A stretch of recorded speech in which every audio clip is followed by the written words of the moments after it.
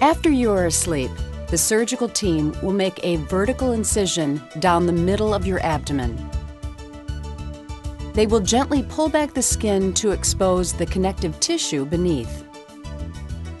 Your doctor will then divide this tissue and the underlying muscle tissue to expose the abdominal cavity.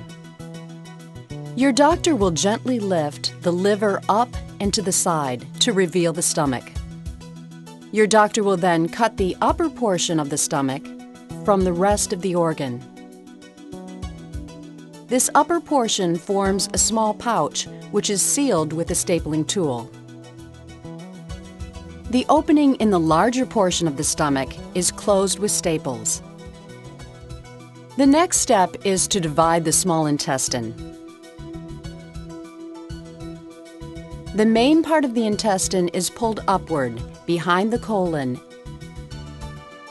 and positioned near the small upper stomach pouch. The other free end of the intestine is surgically stitched to the side of the intestinal loop.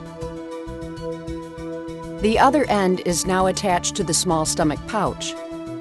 A new route for food passing from the esophagus into the intestines has now been created.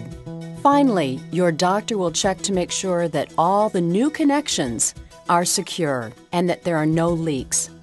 The liver and other organs are placed in their proper positions. A drain is put in place to remove any excess fluids.